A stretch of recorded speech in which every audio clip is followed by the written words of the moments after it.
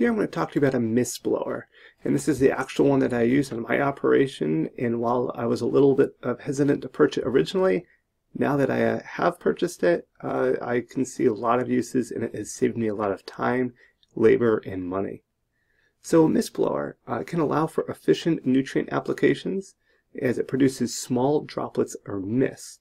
So we're looking at our water droplets, it produces this fine little mist. It's basically a leaf blower that dribbles some water and it turns what would be large droplets into these fine mist droplets, allowing for very efficient coverage.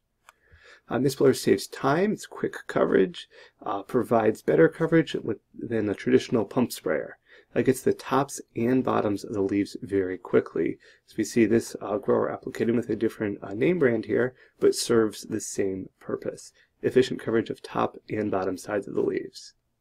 Now this blower allows you to use less product, so it offers a cost savings. I noticed this with the one that I've used. Uh, mine is paid for itself uh, just in product savings, not to mention the time and labor savings. So if you're applying any sort of products, uh, if I was using a regular pump sprayer, I was using a lot more volume for more time and less efficient coverage. This now allows more efficient coverage and less time. So while they are can be expensive for an initial investment, mine is paid for itself now. This blower can also help with uh, the lobster arm or that one big arm as you're kind of going through and kind of pumping up that sprayer the entire time. The gas-powered sprayer uh, takes care of that. Um, this blower downfall is it can be heavy, but there are now two different sizes, at least by Stihl. Uh, I have the 4 gallon, which is 28 pounds. They also make a small 2 gallon, which only weighs 17 pounds with their weed whacker motor. I sprayed water with uh, the 2 gallon one uh, with a grower friend of mine, and it does just as good a job as the 4 gallon one.